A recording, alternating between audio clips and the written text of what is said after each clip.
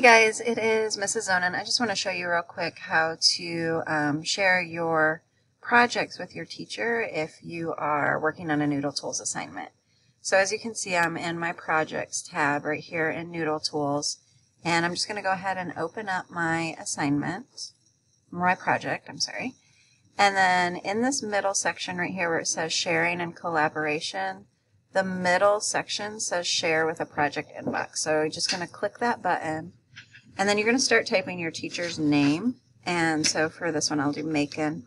So when I start typing Macon, you'll see all her classes pop up and then you just pick the correct one. You make sure that you use, use your full first and last name. If you guys are sharing a paper, you would share the paper. If you're not doing a paper associated with the project, you can leave that unchecked and then you would hit done. And then it will show that you have shared your project with the teacher. Um, and it'll say in the project inbox, it should show that you are connected to that teacher's class. All right, if you guys have any questions, of course, just reach out and I'll be happy to help you.